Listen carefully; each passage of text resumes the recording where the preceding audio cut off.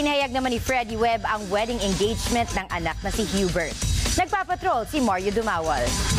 Pinagmalaki naman ni Freddie Webb ang kanyang anak na si Hubert Webb sa unang malaking public appearance nito sa premiere ng pelikula niyang Liwanag sa Dilim. Inihayag din ni Hubert na engaged na siya at ikakasal sa 2016.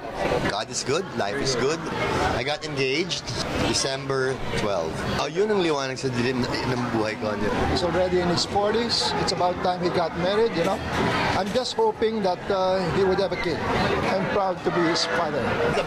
Ayon ang pangalanan ni Hubert ang kanyang fiancé na nakilala niya mula pa nung siya'y nakulong. Nabubuhay din daw siya ngayon dahil sa pagmamahal ng kanyang pamilya. Mario Dumawal, ABS-CBN News.